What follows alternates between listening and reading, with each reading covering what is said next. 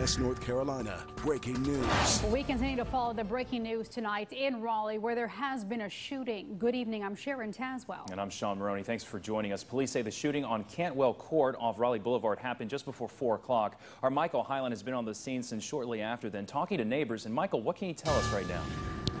I just talked to the woman who called 911 about this, and she says she saw two men who had been shot. One of them was over here behind this apartment building. She said he was alert, though, and actually asked to use a phone to call his mother about what had happened. And the second person was over here in a car that has crashed into a fence. That's where Raleigh police have been focusing much of their attention for the last hour or so. A couple of witnesses who I talked to said they made it over there before this was all blocked off by the crime scene tape and said they saw the man who had been shot slumped over in the front seat of his car there. We don't know about any potential motive behind this or any information about any suspects in this case. This is the same apartment complex we told you about last week where there's been a curfew in effect here starting at 10 o'clock every night. That's in response to an increased crime rate in the area. Raleigh police say in about a one mile radius of here they've already had 1,500 calls for service this year.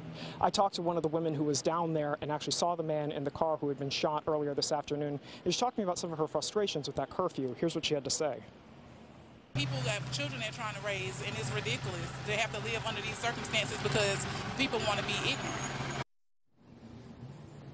Raleigh police have a tent over the car where they're focusing on that uh, over there behind uh, where we're standing right now. So we're going to be out here for a while and see if we can get some better access to where this is and get some more information, bring that to you throughout the night on WNCN.com and ahead on the news at 11. Reporting live in Raleigh, Michael Hyland, CBS North Carolina. Still a very active scene. Michael, thank you. Three cars stolen, 30 cars broken into.